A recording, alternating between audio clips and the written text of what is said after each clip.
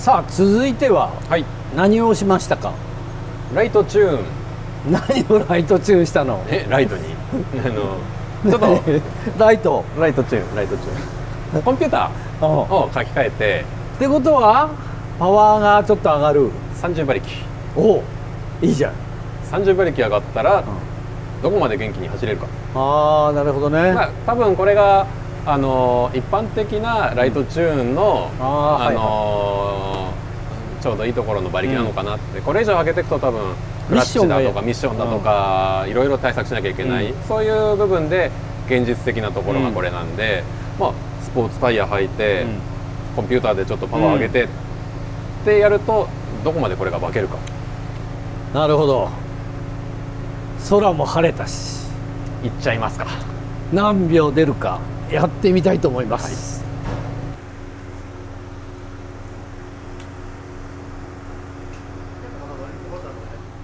さっき何秒？さっきが20 22秒。もうこりゃドライですね。まあなん二か周計測？もう土屋さん満足したタイミングで了解。2, とか3でね。オッケはい。多分ドライだとタイヤがどんどん減ってくんでね。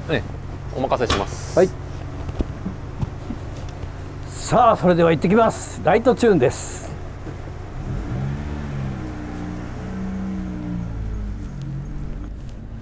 いいね。シビック楽しいよ。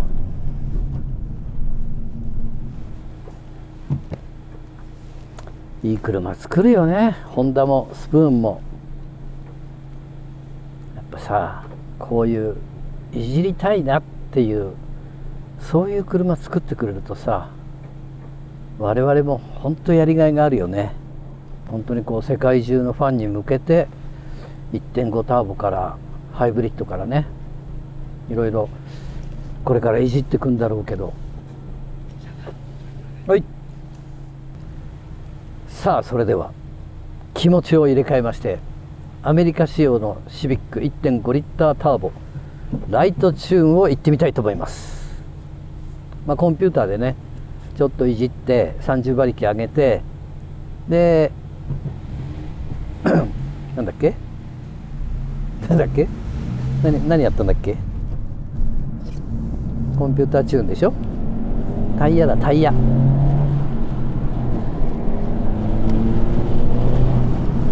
このライトチューンで一体何秒出るかやってみたいと思います。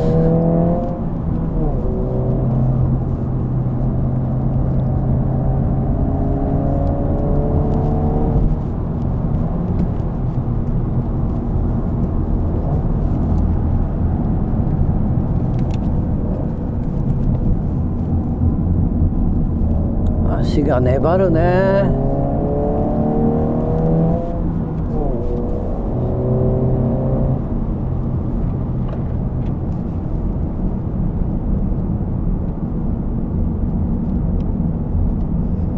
この足でも全然サーキット楽しめるよね。こういうハイグリップタイヤを入れても。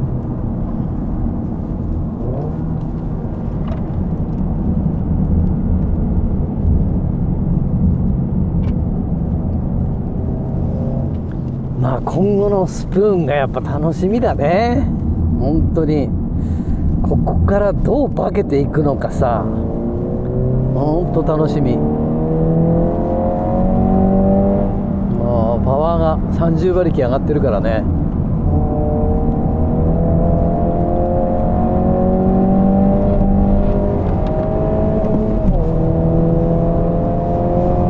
いや立派立派立派。本当に立派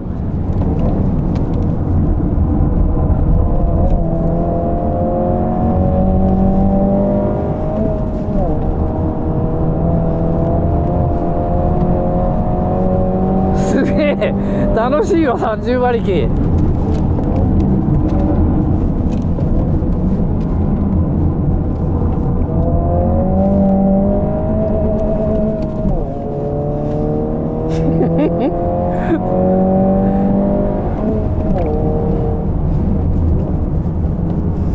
シート欲しいシート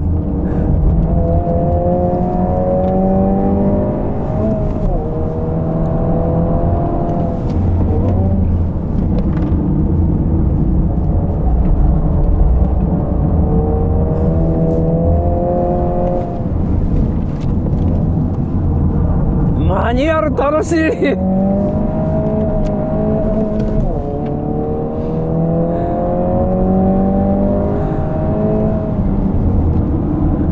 やーいいよライトチュー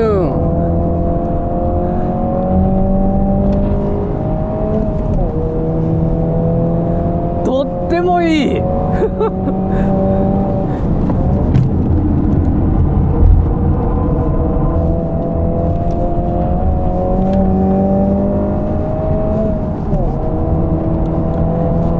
足がちょっと足なんとかしたい本当に。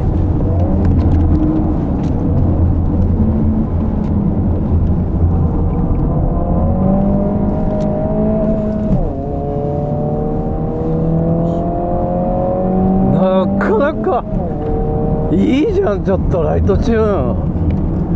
30馬力上がっただけで全然いいよ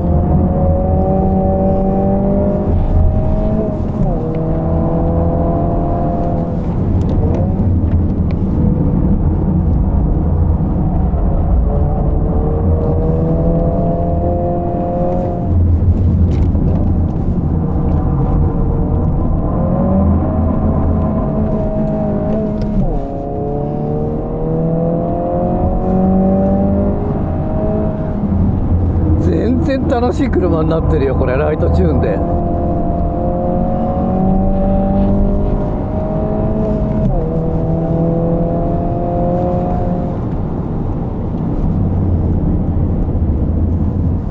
いいじゃんちょっとこれ。ね世界に向けて。いいよ本当に。やっぱこういうハイグリップタイヤ入れちゃうとやっぱこう結構攻めたくなるでしょ？割とグリップ高いから。そうするとさロールが大きいわけよ。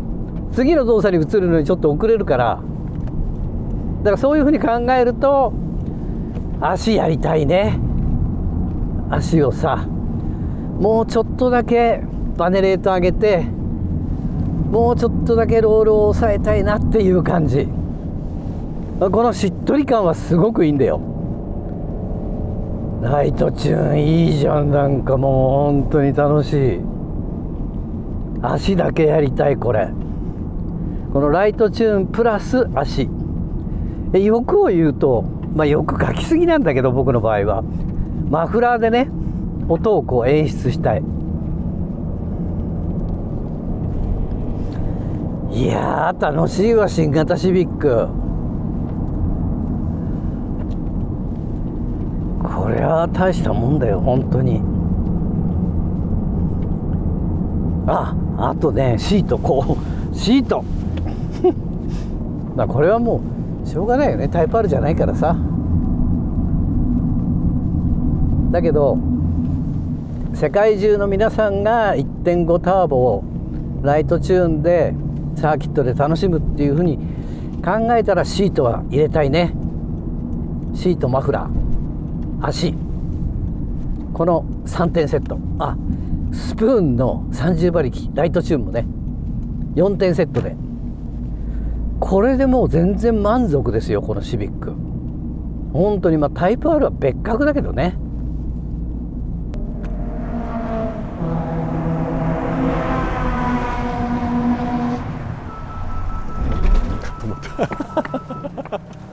すげえなこのブレーキちょっと避けたんですけど。このこの人が判断したの？この人が判断したの？俺じゃない。この人が。これピットで止めらんないっすね。そう。いや全然いいよ。ね。いやタイムもやっぱり19秒4あそう、ん。早い。あそれは早い。30馬力上がっただけでも全然楽しいだから足足がついてこない、うん。もうよっこらしょうよっこらしょうで。ブレーキダメ。ダメ。やっぱりダメ。でもハッチバックスのハッチバックよりはスのハッチバック多分アウトでもうダメだろうね1計測目で行ってましたよね。うん。2計測ぐらい行けました。いけたいけた。大丈夫大丈多分まあブレーキうん。だからまあマシなんですよ。あの、素の状態よりは。夫そうだね。うん。うんなんでえっ、とまあ、これを次、うん。じゃあマネ変えて、いやダンパーはいいよ。ダンパーやっぱいいですか？ダンパーいいこれ、うん。がマネだけ変えて、うん。フロントのレートちょっと上げて。上げて。そう。だからリアが相対的に今回のはちょっと低くなっちゃうんで、うん。それがどっちに転ぶか、ああまあそうだね。やってみたよね、うん。でもフロントは上がるんで、うんだからちょっともう物は試し今回テストでそういうトライしてみたいんで、うん。うん。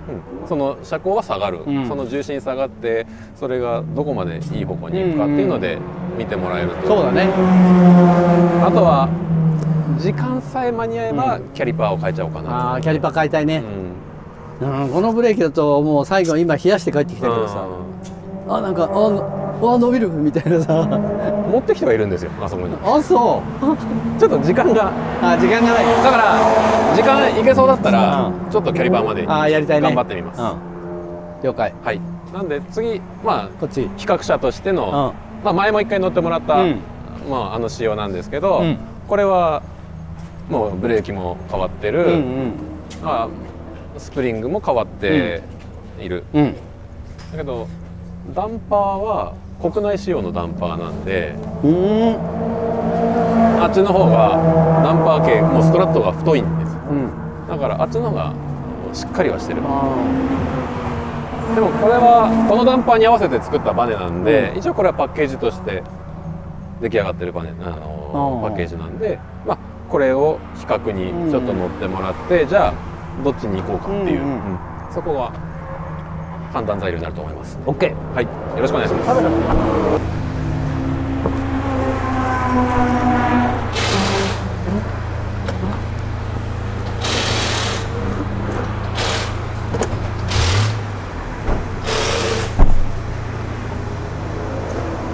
さあそれではスプーンの日本仕様のライトチューン行ってみたいと思います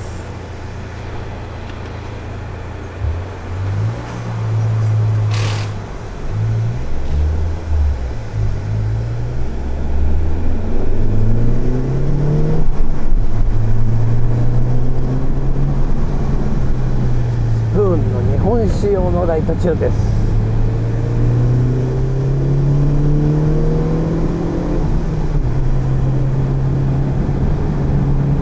あー足やってるからロールが抑えられててコーナー気持ちいい。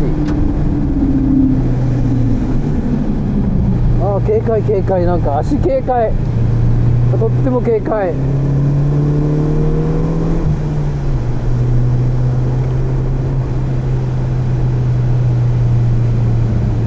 やっぱいいね。このくらいはやりたいよね。本当に。いやコーナーいいなこれ。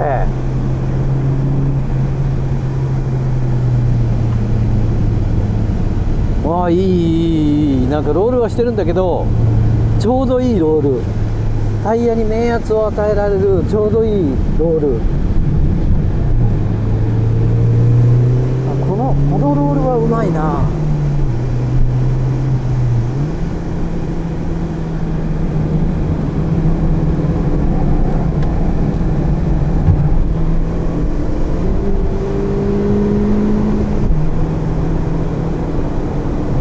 楽しい。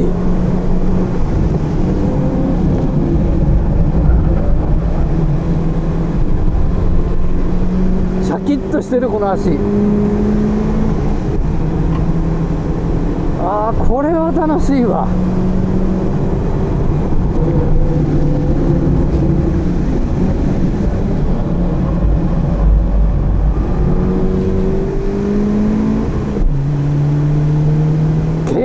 軽快だわ。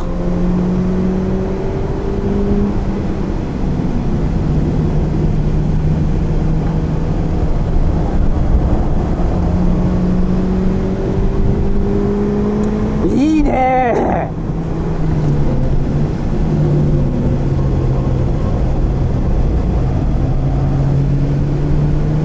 これはいいぜ。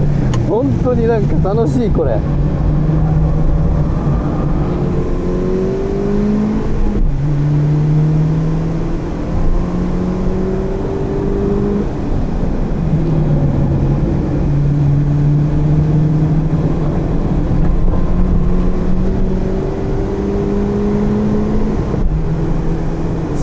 やるね。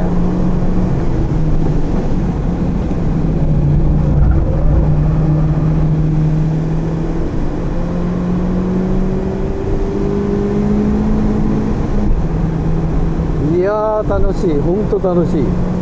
やっぱここまでこうチューニングされてると楽しいわ。いいぞこのチューニングは。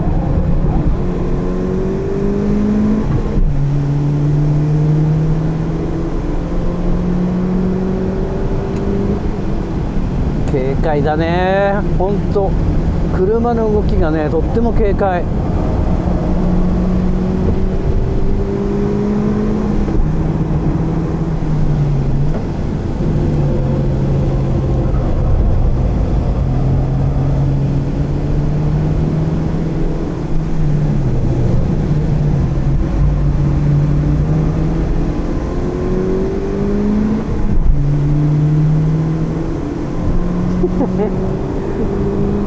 不安要素がない本当に楽しい。い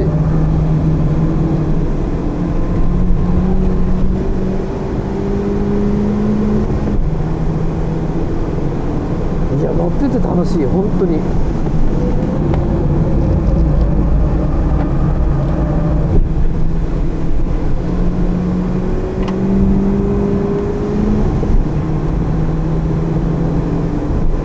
ボディの作りがいいよね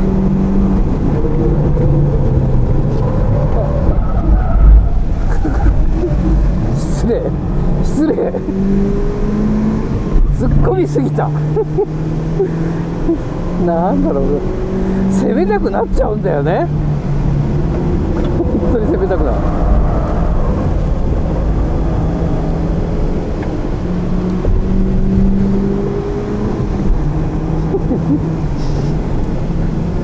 本当楽しい車だよこれ。よくできてる本当に。足がガチガチじゃないから運転が楽しやすい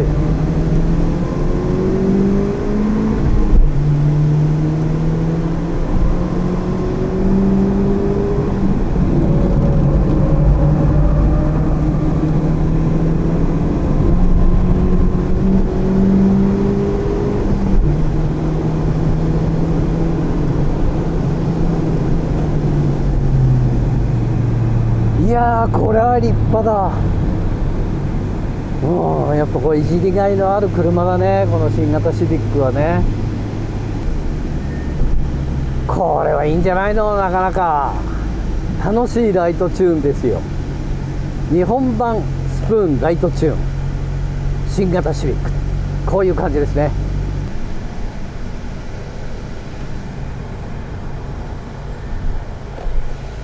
フフフこれはいいわ。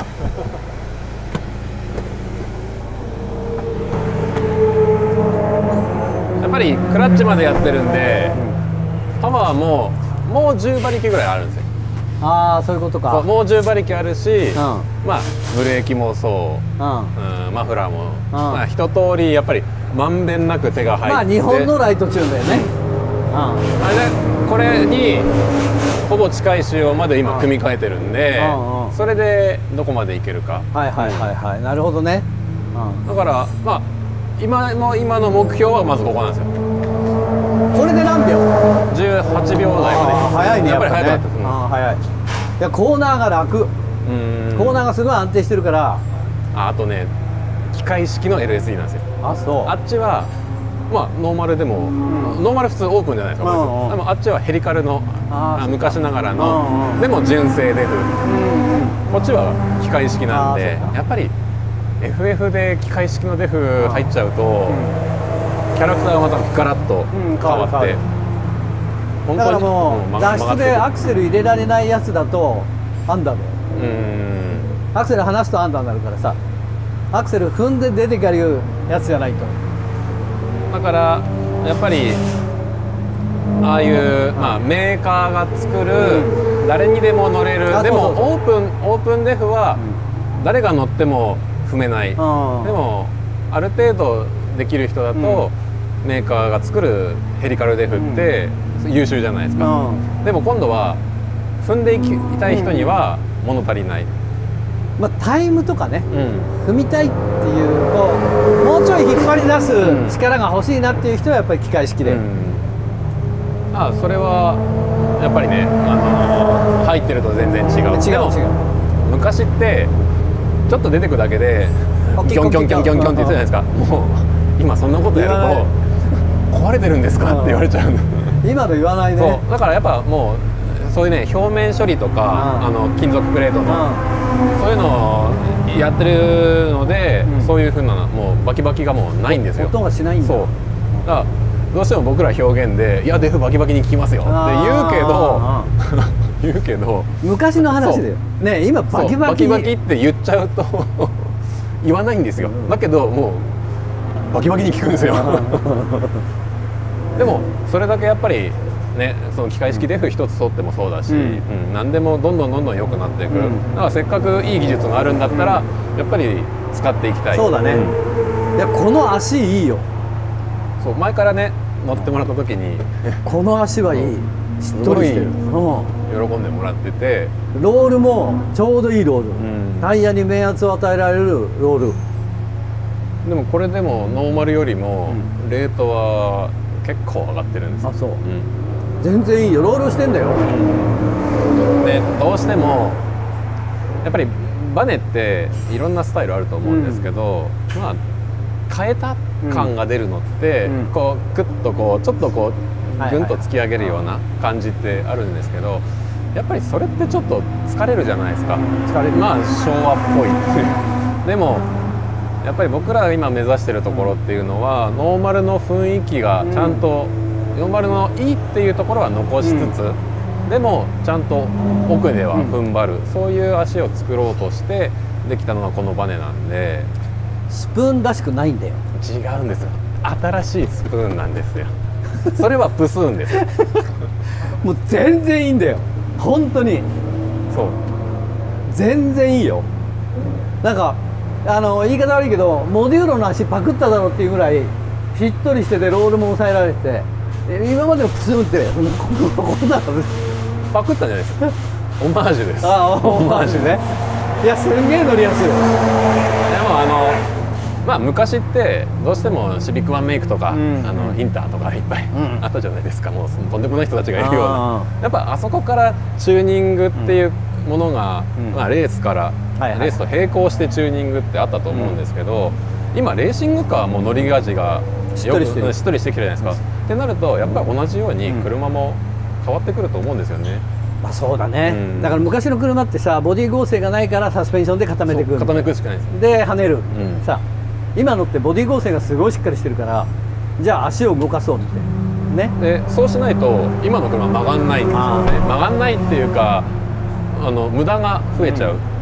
タイヤを無駄に使っちゃう、でそうするとガチガチにすると、乗り方も昔ながらのもうキャンってやらないとダメ。でも今だったら普通の車の乗り方でうん。ちゃんと減速して、ね。縦で押し出していく、で後ろもしっかり使って、うん。その昔ながらの三輪走行なんてもう今やんないじゃないですか。今ないないない、うん。嫌われる。そんなことしたら嫌われる。だってね三輪走行って4分の1グリップ減るわけですから。もったいないですよやっぱ四輪に仕事させないとね。だから車ってやっぱりそういうものなんで、うん。やっぱりどんどんどんどん今普通になってきてますね。このライトチューンはいい。日本版ライトチューン。まあさっきのはね世界に向けたライトチューン、うん。で日本のベーシックなライトチューンっていうとここまでやってますからね。ここまでやるとサーキット何十周でも走れる。楽しい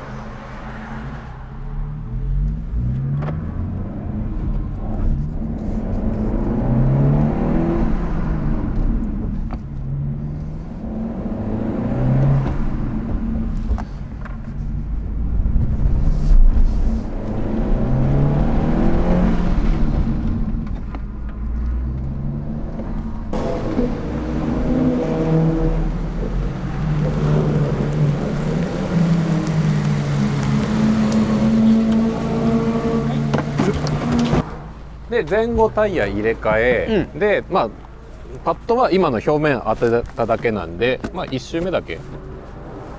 多分いけます、あのそんなにすごいパッドにしてないんではいよ。マザイがストリートのちょっと延長線上、うんうん。うん、でこのパッドってコントロール声優出してるので、多分初期はパツンとは来ないです、うん。奥奥で行くうん。タイプのパッドなんで、了解。はい。はいさあでは行ってきます。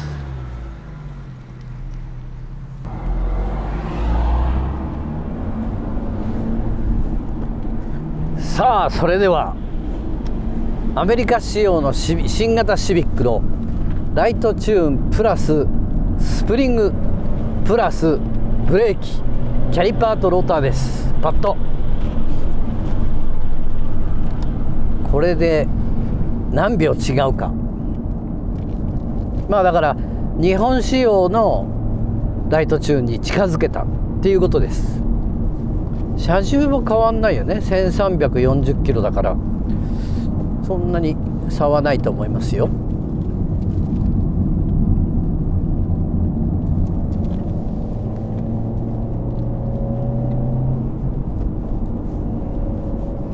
足がまあスプリングを変えてね。ダンパーはアメリカ仕様のままなんだけど。どう違うか。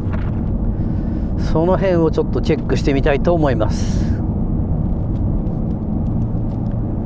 ほぼほぼ日本仕様のスプーンのライトチューンにしたという感じですね。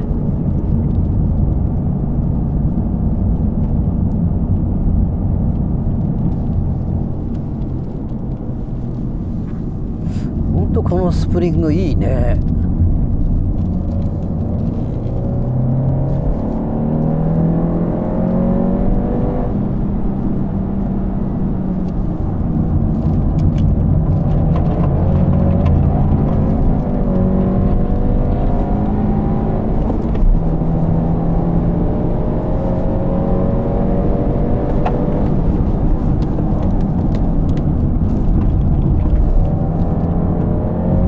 これはいいぞ。これはいいぞ。このスプリングめっちゃいいぞ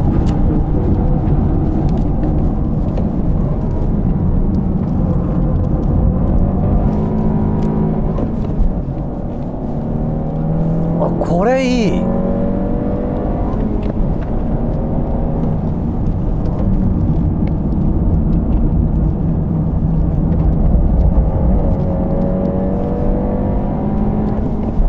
こっちのが早いんじゃないのちょっと。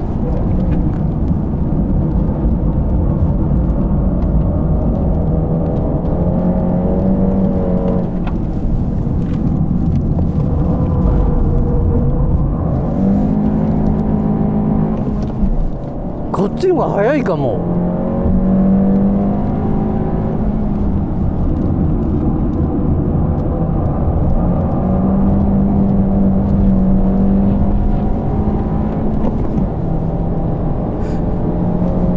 なんかこっちの方が早いような気がする。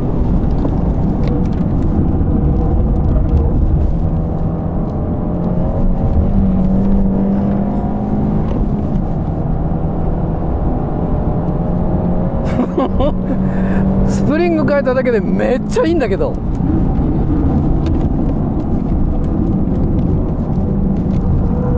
マニュアル楽しい。全然いいわこのスプリング。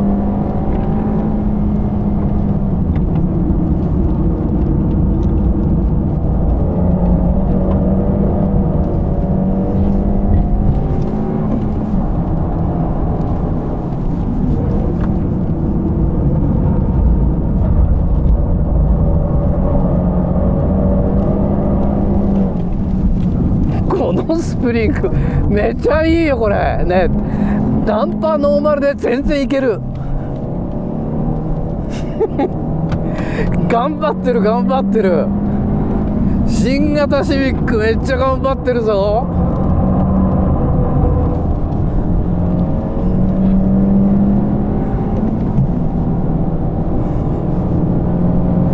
全然いいよこれ。めっちゃいいぜ。スプーンやるね。いやこのロールもいいな。本当にこうねタイヤに面圧をかけるだけのロールをしてくれるから必要以上にいつまでロールしてんだってどれだけ深いロールなんだっていうのがない。いやー大したもんだこれ。びっくらこういった。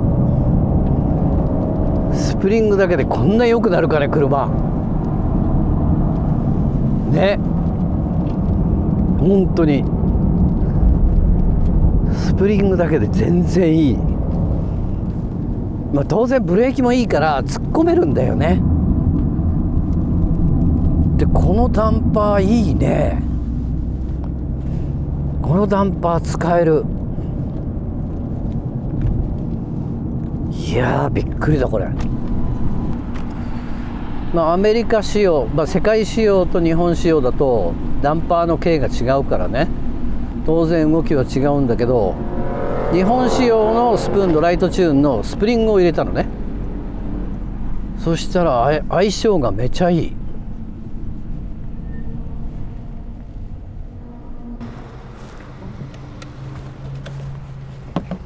お疲れ様でしこっちの方がた速くない？えっとタイムいほぼ一緒。あそだから機械式デフ入ってない、う、うん、で結構使い続けてもう熱入っちゃったタイヤ。さっきのは、こっちの方がうん、そう。曲がるんだよ、あーえデフ入ってないのに。う。んはい。じゃあやっぱダンパーはこっちの方がこっちの方がうん。安定してる、でこっちの方がしっとりくる。うーん。日本版のダンパーはふっとくる。やっぱ容量がうん多い分、同じセットだったとしても容量大きいからしっかり受け止められる。海外版の方がダンパーはいい、うん。うん、だからいや本当にタイムほぼ一緒。ちょっとだけこっちの方が遅いんですけど、うん。でも10馬力足りなくて、うん機械式デフ入ってなくて、タイヤももうずっと使っちゃってうん。熱が入ってる、うん。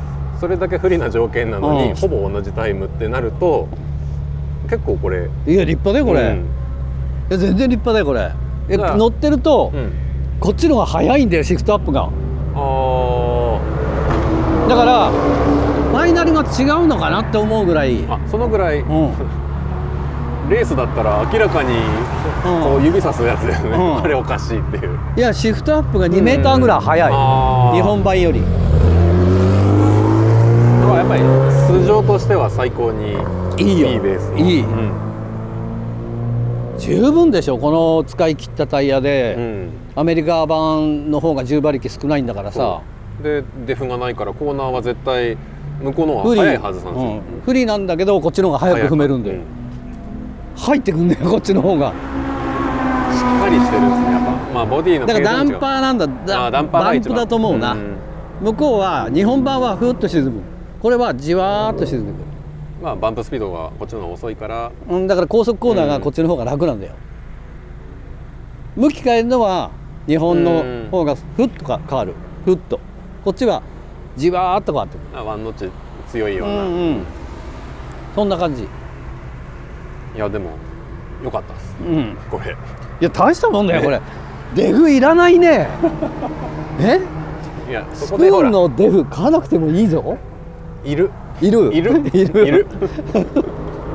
いやでもやっぱりベースがしっかりしてないと何やったってダメなんですよ。それはそうそれはそう。だからやっぱこういうベースがいっぱいあるともっともっといろんなことが楽しめる、うん。まあでも一個もないのもうん。ね、そういうメーカーもありますから、まあね。まだホンダはうん。全然先があります、うん。でブレーキ変えただけで突っ込めるもん、ああ。意外にあ安定してあ全全然なんともない。い周回してもなんともない。やっぱキャリパーとローターはねパッドとセットで セット。これはもうサーキット走る上では最低限。はい。まずは止めないと。そうそうそう。止 そういうこと。そういうこと。いやでもびっくりだな。あとシート変えたいね。ね。シート変えたいね。まだ2週間ですから、まあまあね。ナンバー取って。それはそうだ。まあでも大したもんだよこれ。ね。アメリカ仕様のライトチューンに日本のライトチューンをプラスさせたの。プラスさせただけで似たようなタイムが出る。これはちょっとびっくりです。はい。